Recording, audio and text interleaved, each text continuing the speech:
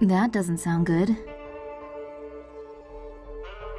New research has found evidence that Earth's magnetic poles have shifted rapidly once before and could lead to a global catastrophe should it happen again. The Earth is surrounded by a magnetic field that shields the planet's surface from charged particles constantly being emitted by the Sun. The field can switch directions, a phenomenon known as geomagnetic reversal is believed to unfold slowly over thousands of years, with the last full reversal occurring 780,000 years ago. A new study analyzed a Chinese stalagmite that grew over a 16,000 year period.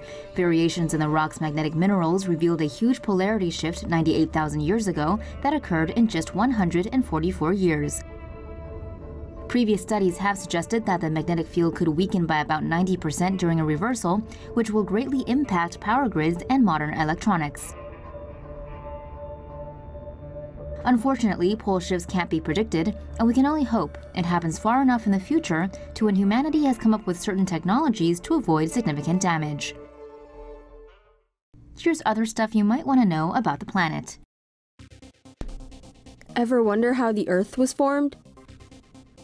Two new studies published in the journal Nature have shed some light on how Earth's strange chemical makeup came to be. Our solar system began some 4.6 billion years ago as a swirling disk of gas and dust. This all came together to form rocks, planetesimals, and eventually full-sized planets. But scientists have long been puzzled by the difference in composition between Earth and the meteorites believed to have formed it. The answer, it seems, lies in Earth's explosive history. Early Earth often collided with other planetary bodies, with the impact generating enough heat to turn rocks into either magma or hot vapor. One study estimates the planet lost 40% of its mass from this process. A second study combined Earth rock with volatile elements such as gold, silver, and zinc oxide and heated it to 1300 degrees Celsius. After cooling the rock, they discovered that the volatile elements had evaporated. This same vapor loss was found in samples from Mars and the asteroid Vesta, suggesting that the phenomenon occurs in similar sized bodies. The two studies may have solved some riddles about the Earth's composition, but many, many mysteries remain. Scientists discover ice in some ice. That's deep. Geologists unearth impure diamonds from mines in southern Africa, Zaire, Sierra Leone, and China and discovered they contain ice crystals, which means pockets of water may exist deep in the Earth's mantle. Researchers found more than a dozen diamonds with a distinct form of crystallized water known as Ice 7. Ice 7 has been studied in labs, but these samples are the first known natural samples.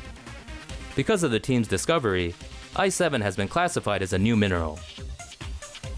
The ice crystals suggest pockets of watery fluid may be present in the Earth's mantle, despite the high temperatures.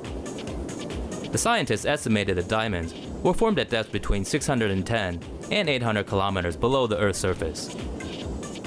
Researchers were unable to determine the exact location of the pockets or how common they may be.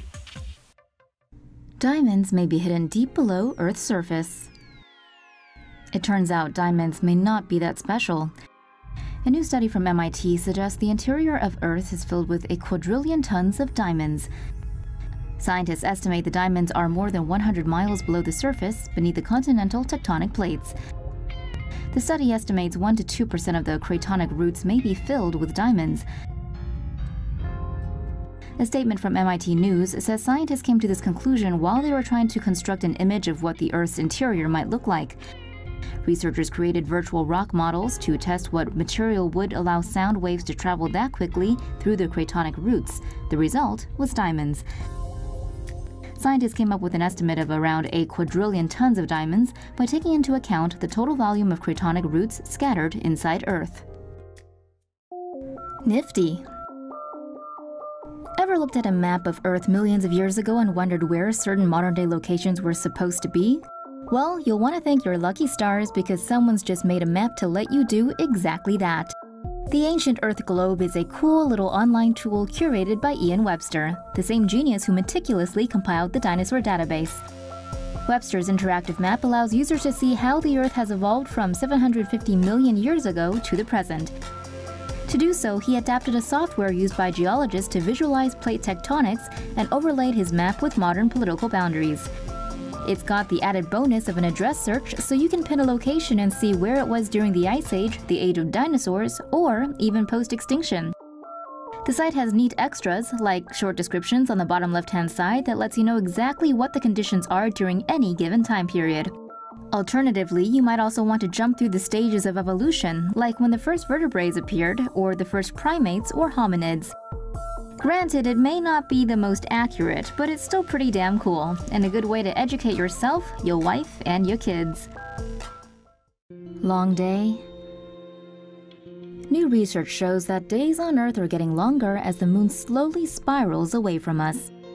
Due to gravitational forces between Earth and its satellite, the moon moves away at a rate of 3.82 centimeters per year, causing our planet's rotation to slow. According to NASA, Earth currently completes a full rotation on its axis every 23 hours, 56 minutes, and 4 seconds. But researchers using astrochronology on geological rock layers found that when the moon was closer to Earth 1.4 billion years ago, a day was just over 18 hours.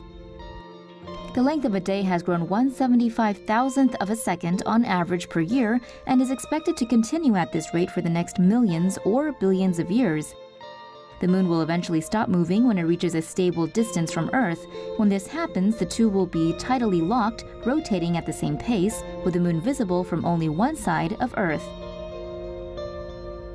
Of course, that's assuming either of them survive the sun's destructive red giant phase. Uh-oh, that's bad news. The BBC reports a home insulation chemical used extensively throughout China may be damaging the Earth's ozone layer. The chemical, CFC11, was completely banned 80 years ago because it resulted in a massive rise in emissions of a gas to the Earth's protective layer. According to the BBC, around 70% of sales in China use the illegal gas to insulate their houses because it is better quality and much cheaper than the other alternatives. CFC11 is made from chemicals such as carbon, chlorine, and fluorine. CFC11 or trichlorofluoromethane was mainly used as a refrigerant and is a colorless liquid which is quick to escape containers even if it is packed tightly. When CFCs are exposed to UV rays in the atmosphere, the molecule breaks down into individual atoms, which includes chlorine. The oxygen atoms in the ozone then react to the chlorine atom and rips apart the ozone molecule, which damages the ozone layer. Because of the sheer amount of CFC11 being used, this could have the potential to reverse the healing that is starting to take place in the ozone layer.